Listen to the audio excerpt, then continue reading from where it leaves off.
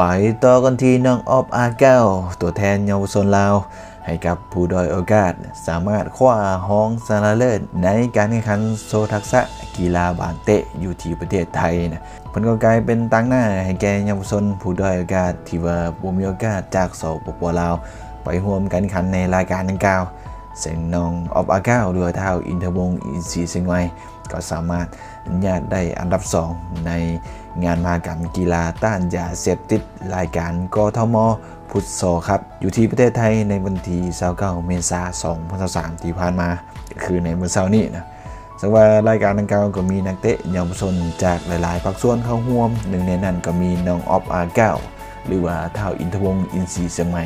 นักเตะเยาวชนลาก็สามารถผ่านเข้ารอบซิงไปแข่งขันกับน้องบิ๊กนะเนาะที่ว่าเป็นนักกีฬาจากประเทศไทย ก่อนที่ว่าจะคว้าห้องชนะเลิศไปส่งรายละเอียดก็ไปเบิ่งในคลิปเนาะที่มีการแข่งขันเลาะบานฟรีสไตล์นะใส่การเลาะบานทักษะต่างๆ ในการควบคุมบอลซึ่งน้องออฟก็ได้คว้าขันห้องชนะเลิศไปครองนะคือเป็นขันห้องชนะเลิศการแข่งขันทักษะกีฬาบานเตะรายการกทมฟุตซอลครับ ที่ว่าเป็นขันของทานดรสัตซาดสิทธิพันธ์ผู้ว่าการราชการกรุงเทพมหานคร ที่ว่าเป็นผู้จัดรายการนี้ขึ้นมา ก็เพื่อเป็นแบบอย่างในการให้นักกีฬาใส่เวลาว่างให้เป็นประโยชน์ห่างไกลจากยาเสพติด ก็ถือว่าเป็นอีกรายการหนึ่งที่ว่าให้โอกาสเด็กน้อยเยาวชนลาวและก็เด็กน้อยเยาวชนไทยที่ว่าผมมีโอกาสเข้าร่วมแข่งขันนะ เดี๋ยวไปเบิ่งรายละเอียดในการโชว์ทักษะตามวิดีโอกันเลยเนาะซึ่งว่าวิดีโอพวกเราก็ได้นำมาจากเพจของครูเอ็ดดี้สายบัวครับเนาะที่อยู่ประเทศไทยนะ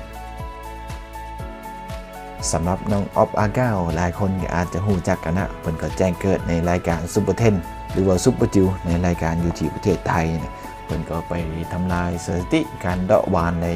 หลายกว่า 12,000 ครั้งนะ สร้างสถิติใหม่กับรายการดังกล่าวในการแข่งขัน นอกจากนั้นผลงานในเด่นของเพิ่นก็ยังดิ้นให้กับสมสร WSG สมสรเยาวชนลาว ก็สามารถคว้าห้องแซมหลายรายการนะบ่ว่าจะเป็นรายการอยู่ที่ประเทศไทยนะซึ่งล่าสุดก็สามารถคว้าห้องแซมรายการอยู่ที่มุกดาหารในปี 2023 นี้ที่หาก็ผ่านผลมา สำหรับผลงานของเพิ่นไปเบิ่งในลิงก์นะผมมีการแปะลิงก์มาให้เบิ่งกันละกันเรียกว่าไปเบิ่งในรูปตัวไอ้ด้านขวามือเนาะ